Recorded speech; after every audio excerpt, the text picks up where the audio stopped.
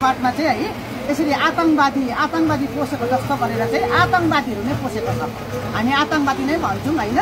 खुकुरी पातङ पिस्तोल बोकेर यसरी पोसेको छ होइन? पुलिसहरू पनि छ सँगसँगै फेरि। पुलिसहरूले एरेस्ट गर्दैन होइन? पुलिसलाई कसले खबर दियो? मिडिया पनि छ त्यहाँनिर। मिडियालाई पनि कसले खबर दियो होइन? हामी चकित भइराखेको छौँ आज। अनि यहाँ थानामा अहिले देखाउन आएको ड्युटी देखाउन आएको थानामा ड्युटी गराएको छु? थानाबाट पुलिस ड्युटी पठाएको होला भनेर सोधेको थानाबाट पठाएको होइन अनि एकजनालाई चिन्तित गर्यो सोधेको त ऊ त पर पर गयो। एउटा बङ्गाली बङ्गाली पुलिस होला होइन? उहाँलाई चाहिँ सोद्धाखेरि तपाईँले किन त्यो केटाहरूलाई एरेस्ट गर्नु भएन? तपाईँको सामुन्ने त्यो केटाहरू थियो नाका पोस्ट लगाएर भनेर भन्दा पुलिसले भने तँ फिल्डमा थिइस् तैँले एरेस्ट गर भनेर भनिस् भनेर भन्यो। हामीलाई बुझ्नुभयो? अनि अहिले यहाँ थानामा जाँदाखेरि थानाबाट पुलिसहरू पठाएकै छैन। त्यो दुईजना पुलिस पर पर पर भागेको छ तर अहिले चाहिँ हामीले फोटो खिचेको छौँ त्यो पुलिसको पनि। एउटा त सायद साक्य सम्बन्धी नै छ जस्तो छ त्यो पुलिस होइन? नेपाली पुलिस चाहिँ। अनि अहिले चाहिँ थानामा ड्युटी गरेको छौँ। अब अहिले यहाँ प्रेसमा नै गयौँ होइन? अहिले आउँदा आउँदा तपाईँहरूलाई पनि भेट्यौँ। यति साह्रो भाइरल भयो यो कुरो होइन? तर हामीले भाइरल गर्नुभन्दा पनि बरु उनीहरूले नै भाइरल गरेको जस्तो छ यो आजको कुरोहरू चाहिँ यो एट्याकहरू चाहिँ। बुझ्नुभयो? अँ, कसैको निधारमा पिस्तल ताक्ने कसैको छाती समात्ने खुकुरी नाङ्गो खुकुरी त देउसाको छ। हात लगाएको छ होइन?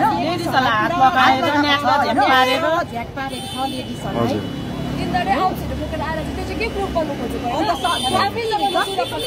सबैको हातमा हतियार। अन्त एउटा मात्र हतियार होइन खुकुरी पनि डरै लाग्दो खुकुरी हो। हेर्दाखेरि हामी अब लेडिज मान्छेलाई त त्यस्तो देख्दाखेरि त हामी त पिस्तोल एक फाइरिङ गर्यो उनीहरूले। अन्त त्यहाँदेखि यति लामो लामो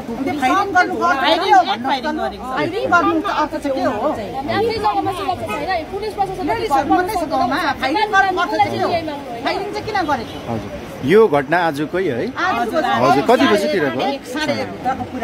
हजुर। एक्ज्याक्टली त्यो निम्की डाँडा भन्नुभयो नि तर ए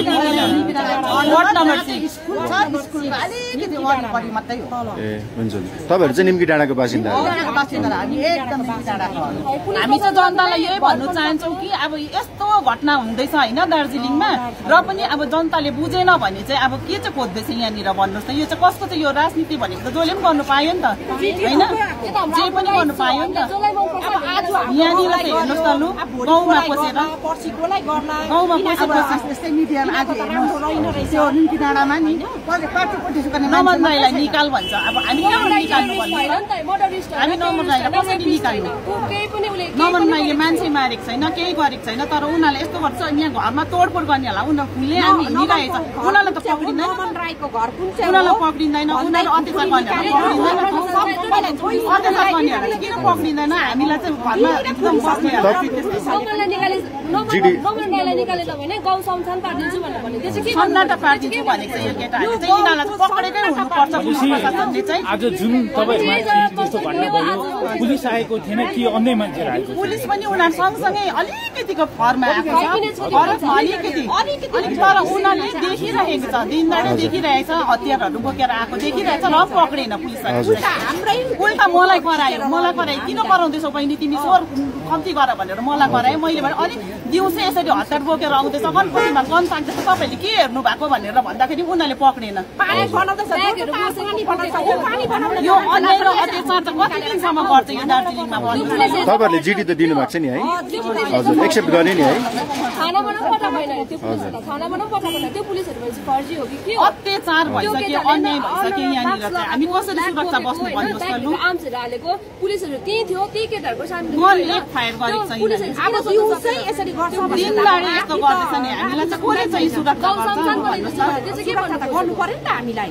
थानामा प्रोटेक्सन छैन थानाबाट। कुनै के छैन के छैन। ए, को हो? तपाईँ हो कि को? नमनको जाने अलिकति अच्छा मैले जिडी